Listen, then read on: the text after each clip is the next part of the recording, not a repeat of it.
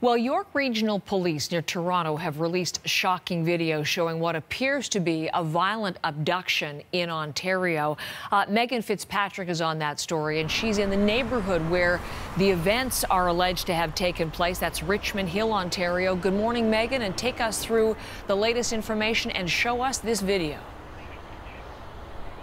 Good morning, Heather. Well, yes, this uh, incident happened around 2.50 a.m. yesterday in this neighborhood where we are uh, in Richmond Hill, which is just north of Toronto. The video we have shows a woman on what appears to be a front porch of a home, and uh, she rings the doorbell, and as she's waiting for someone to answer, a man approaches her from behind. Let's take a look at what happens next. There's video uh, from a, a doorbell a home security system that shows what happened next. Here it is. I saw your baseball. Stop, stop. Oh, yo, yo. You think you'll get in the car? I'm like, Get in. I think I'm gonna die. Good. I'm gonna kill you. You wanna leave?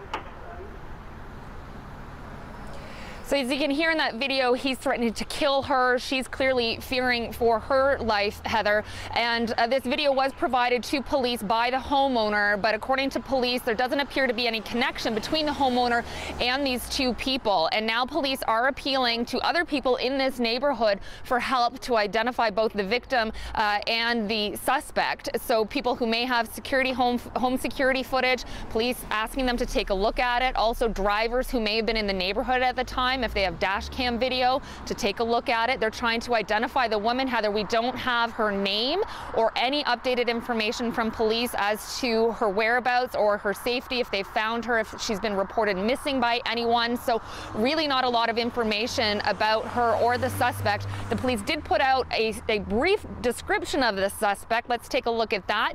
Uh, there's not much to it really. Police are saying he's a male wearing a hoodie with short hair and appears to be carrying a handgun in that video. So they are warning people that he might be armed.